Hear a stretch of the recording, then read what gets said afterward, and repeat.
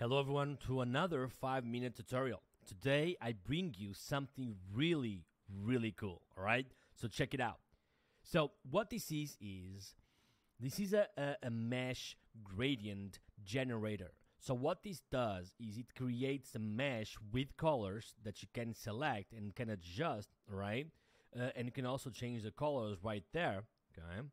Um, so you can add in your backgrounds, right? So if you're like me and you want dynamic backgrounds, you like dynamic backgrounds, but that don't take the attention away from your main message, then meshes are just amazing to work with, right? So usually what I usually do was uh, creating an image in Adobe Illustrator, in Figma, whatever that is, with a few colors uh, that I liked, and then created something like this. But the problem with that, and you're already imagining that, right? The problem with that is that you are going to use that in the background, like a 1920 by 1080, and it's going to weigh something around to 100 kbytes, right? So if you have a lot of sections in your funnel with those images in the background, it's going to make your funnel just load really, really slow, right? So with this tool, with Mesher, what you actually do is you have the exact same effect to add into your background, but 10 times as fast, right? So check this out. So what this color does is you can create these crazy good meshes, all right? And you can create it by randomize, you can customize it yourself, all right?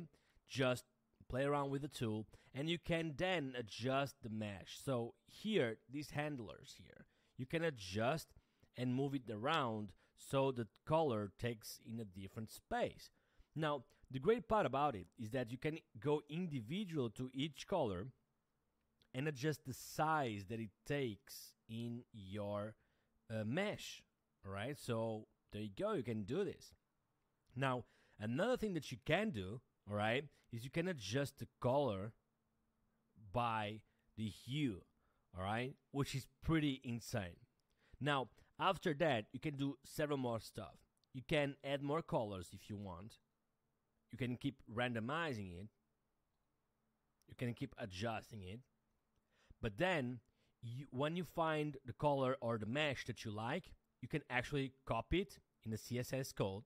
Or if you want to check it out, you can go here and then you can go straight to your funnel go to your css paste it there. And now you just need to go to your section copy the id go back to css real quick okay? Paste it there and guess what happens? You have the mesh effect all right?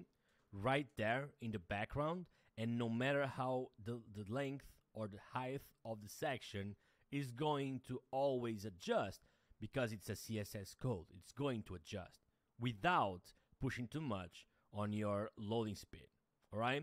So, this was another episode for the 5 minute tutorials. If you like this one, uh, let me know in the comments. I always appreciate hearing your feedback. And if you want to know more about CSS and other tricks, please make uh, make sure that you actually check my CSS master bundle as I have a lot of great tips and tricks.